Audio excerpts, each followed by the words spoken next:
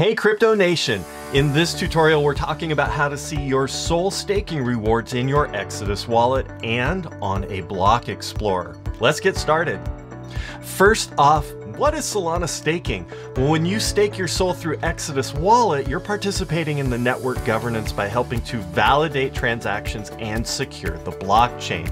Your tokens are delegated to a validator who then includes your stake in their validation process. Now, in return for your help, you earn staking rewards, which are automatically added to your wallet balance every few days. But one of the great things about staking Solana is that you don't need to manually claim these rewards. Instead, Instead, these rewards are automatically added to your stake balance, compounding over time. Now, let's learn how to check how many SOL rewards you've earned first with the Exodus mobile app, Exodus Web 3 app for Chrome and Brave, and then with the Exodus desktop app. So first open Exodus, then click on the profile icon and go to staking and click Solana. And once there, you'll be able to see the total amount of SOL rewards earned under earnings. If you're using the Exodus desktop wallet, click the Rewards app, navigate to Solana and click Overview.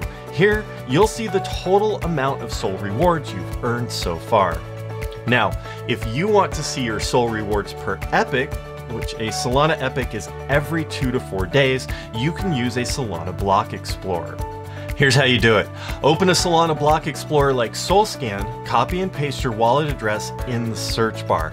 Navigate to the Stake Account tab and then click the address to open your stake account details. Finally, click on the Rewards tab to see the detailed information about your staking rewards for each epoch. This detailed information can be useful for seeing exactly how much you're earning over time and can be especially handy come tax season. And that's it. Now you know how to see your SOL staking rewards in both total and per epoch. Thanks for watching everybody. Please remember to like and subscribe. And if you'd like to learn more about Exodus and crypto, click any of these videos to keep watching.